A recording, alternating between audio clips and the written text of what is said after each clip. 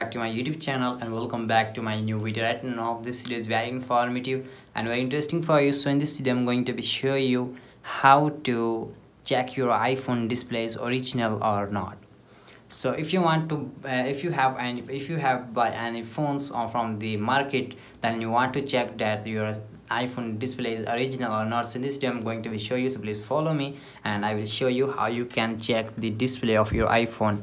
So if you're new to my channel then don't forget to subscribe my channel and hit the bell icons for my new videos. So without wasting any time let's get started the video. So here i have iphone 11 and then here uh, in this iphone i will show you how you can check your iphone display.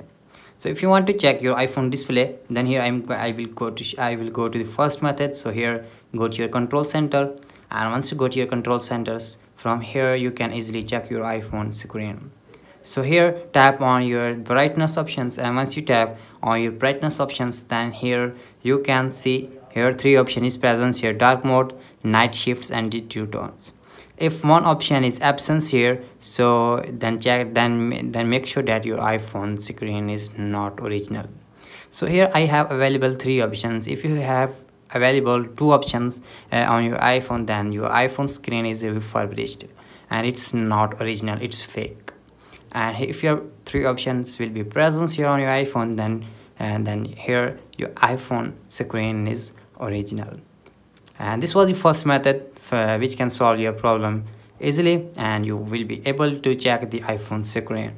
And if you want to check again your iphone screen then here and here you will see the light light here eh, on the sides uh, dark light maybe then check that your problem has been fixed or not and make sure that your iphone screen is not original. But here there is no uh, there is no other light is presence here. So if your light is presence here then your iphone screen is not original.